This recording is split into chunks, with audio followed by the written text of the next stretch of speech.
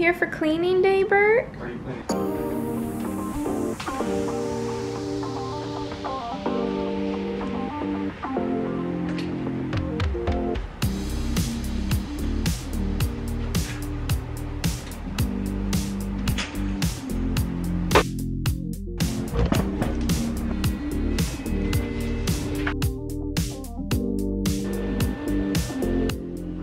So clean. Huge thanks to mom and Kyle. We did a deep clean in the bedroom.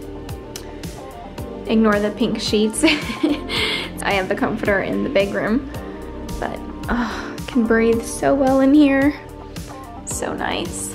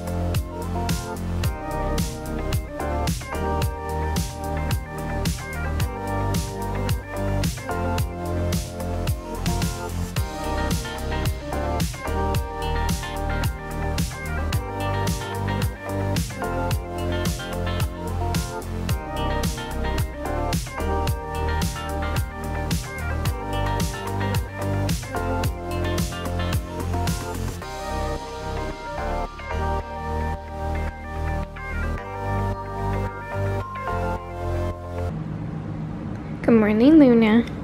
Good morning, everyone. Let's head to work.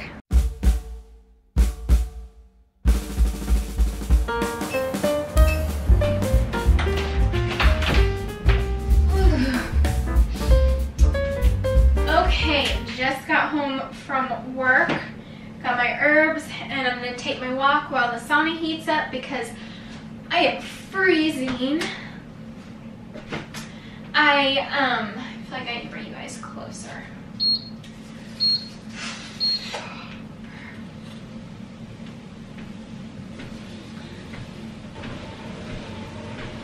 Okay, decided just to put you guys closer. Um, so I'm trying to think of to catch you guys up. You guys saw. So after Christmas, we came home. I was feeling pretty bad after vacation. We decided to do a deep clean in our bedroom and my mom and Kyle did a wonderful job doing that on Saturday. I had an out of place knee from work so I couldn't really put any pressure on my knee all weekend. I still ended up getting up quite a bit more than I should have but I wanted to get stuff done but it was just a huge help to have them do that in our bedroom and get that all clean, get our um, our blinds fixed from the cats, get it all vacuumed under our bed, behind our couch, behind our, you know, everything.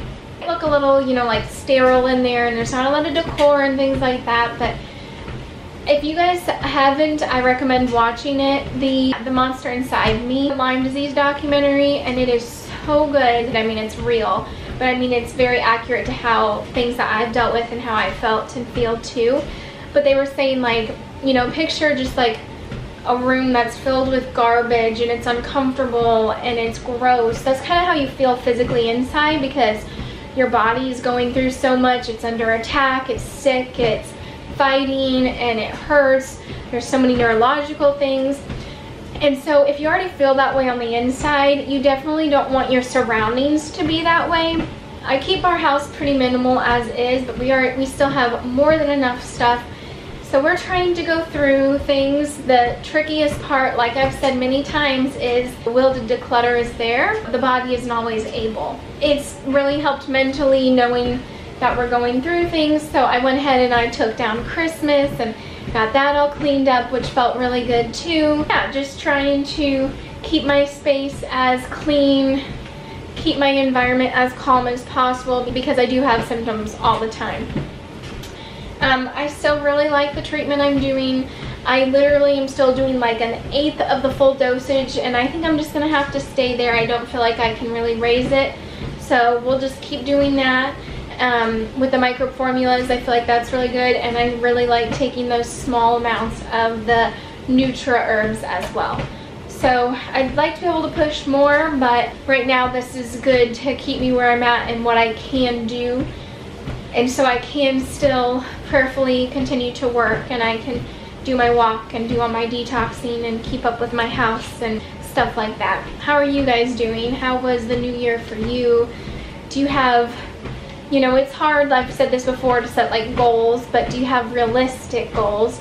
Do you have, you know, mental goals? Um, that's a huge part of an illness um, is the mental side, you know, spiritual health, there's things you're hoping to achieve or that you're wanting to continue to achieve. So anyway, thank you guys so much for being here. If you are new to this channel, please don't forget to hit the subscribe button and the notification. And if you've been watching for a while or if you haven't, please consider sharing this channel so others can find it as well. I hope to be a positive place on the internet, a real place on the internet, help raise awareness and help others not feel so alone. So I'm gonna finish my walk here and I'll see you guys soon.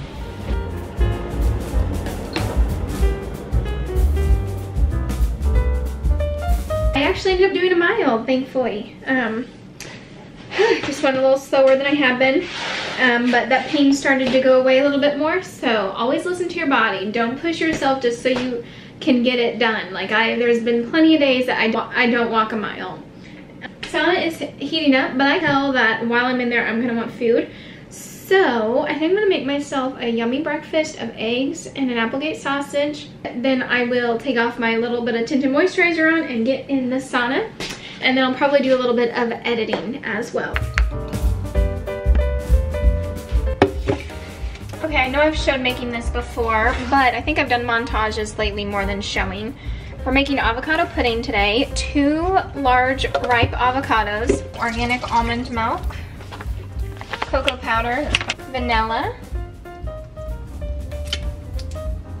stevia to taste. You can also use monk fruit.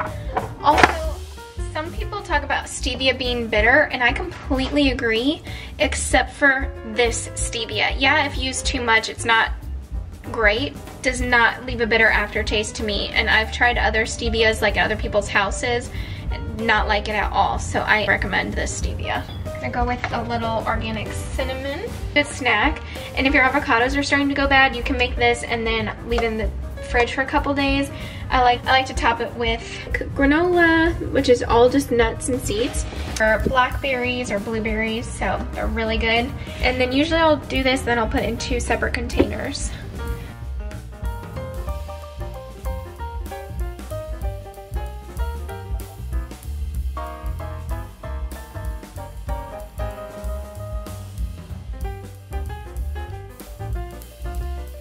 I don't know how well you guys can see, but the consistency is so light and fluffy.